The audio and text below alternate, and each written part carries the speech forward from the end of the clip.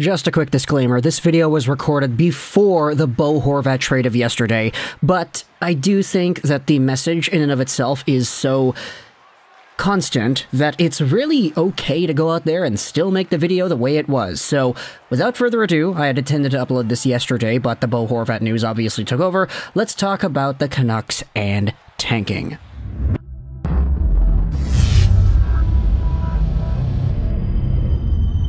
The Vancouver Canucks are actually tanking.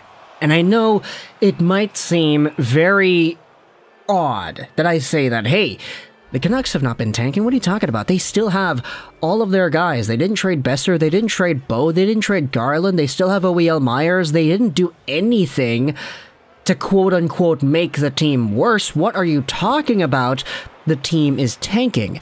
And I feel like this is sort of the come around conclusion that the team really is putting themselves in a worse spot. And it didn't really hit me until I saw a Reddit post. I know all my videos nowadays, oh, I saw a Reddit post, oh, I saw a Reddit post, but like, you gotta acknowledge, I'm not really that smart. I can't really do much on my own, so I kind of have to go to other parts like articles and Reddit posts to get material for the channel because that's how I'm gonna survive making YouTube videos. But like, there was a post made on the Canucks sub, and I thought this was extremely interesting. Take a look at this. The Dutch Ouch went out there and made this post on the Canucks sub yesterday titled We Are Tanking.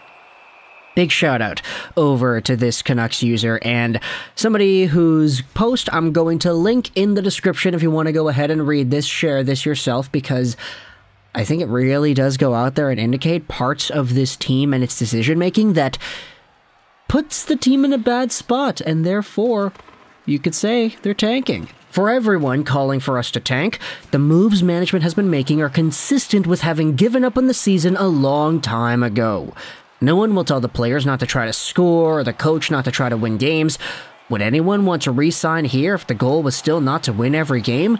Here are some moves that show that JR and PA have given up on the season, but obviously are not about to publicly state it.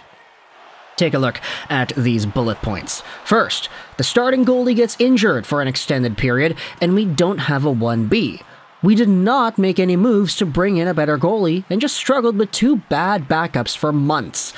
Martin, unfortunately, is not great.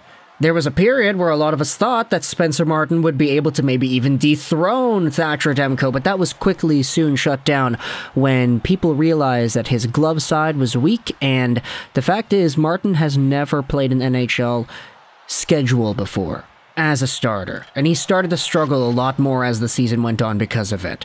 Collin Delia is not necessarily amazing either. I mean, there's a reason this guy's not an NHL backup, but I mean, he's okay for what he is. The Canucks just had themselves a chance to maybe get themselves a better goalie.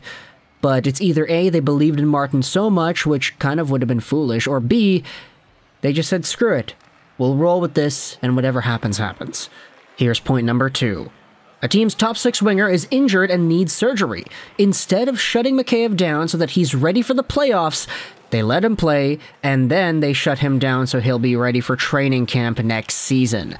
Now, this is a little bit interesting because Mikheyev did say himself on a Twitter thread that he decided to play and do as much as he could while injured until this point of the year. He said himself that he could play through the entire ACL tear and not make it worse, so he did, and he got points and he did everything, but now he'll be out for the remainder of the season until the start of training camp.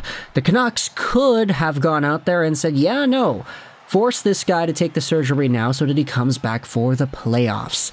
But they didn't. Point number three. Two prospects with top six potential, Podkolzin and Hoglander, sent to the minors. These guys could have been taking minutes from other wingers that have trade potential. So instead of playing Podkolzin and Hoglander in spots where guys like Garland or maybe Boeser or, dare I say, other wingers like Kuzmenko could have been playing instead, you send these guys to the minors, and it also proves that the Canucks know this year is a blank show and don't want to expose our young guys to it. And with the comments that we had seen from earlier today about how Podkolzin and Hoglander are doing so well in the AHL and how the Abbotsford staff is really adamant on having them stick around and wanting to grow and develop them more, I mean, look, more development is never a bad thing, especially for two guys in Hoglander and Podkolzin who weren't, you know, I mean, like, they were good. They're NHL caliber players, but there was a lot to work on, and you could definitely see that their games were not as mature as they needed to be to succeed as legit top 6 caliber forwards. They still had a little bit more to iron out. Now, I'm not sure if going to the Abbotsford Canucks and coming back next season is going to change that, at least in a super drastic way, but it's better development where they can get confidence, where they can actually score points because they hadn't been scoring too many points. Nils Åman is over there doing the same thing, and like just seeing the Canucks' willingness to say, all right, we have two guys that can play in the NHL, we're going to send them to the AHL, focus on their development, and not use a lot of these lineup spots that we could have given to them, but instead give it to guys that we can trade away. That's interesting. Here's point number four, the Ethan Bear trade. Not trying to hit any home runs to improve this year, but getting a nice deal and a young guy that could be a part of this decor for many years. Now, I'd seen a lot of people freaking out about Lane Pederson because he did get claimed the other day by the Columbus Blue Jackets, and it's kind of funny because the Blue Jackets and the Canucks had played the night before Pederson got claimed, so the Blue Jackets got an upfront and personal sort of viewing of Pederson and how he's able to move and make passes and do the things that he's good at doing, and then they're like, okay, well, he's on the market waiver wire, excuse me, we'll take him for free. Come here, you took the wrong plane home, buddy. And I get it, it's not ideal to lose out on players for free, especially in that sort of manner, but Come on. Lane Pederson was an add on in the Ethan Bear trade. He wasn't the meat and potatoes of that deal. And while he was okay playing with Elias Pettersson and Andrei Kuzmenko, this was just a replacement level player that was up here for the purpose of just seeing if he had something to show for at the NHL level. And to his credit, I think he does have some potential, which is why he got claimed in the first place. But I'd be lying to you if I said that the sky was falling down because Lane Pederson, of all people, got claimed on the waiver wire. Here's point number five on this Reddit post made the Rick Tocchet hiring. Maybe this one was due to ownership saying they had to wait until mid-season, but it could also be that they didn't want the coaching bump before they were actually entirely out of the race. Now, it's very funny how this user is giving the benefit of the doubt to this Canucks team that, hey, they're going to get a coaching bump.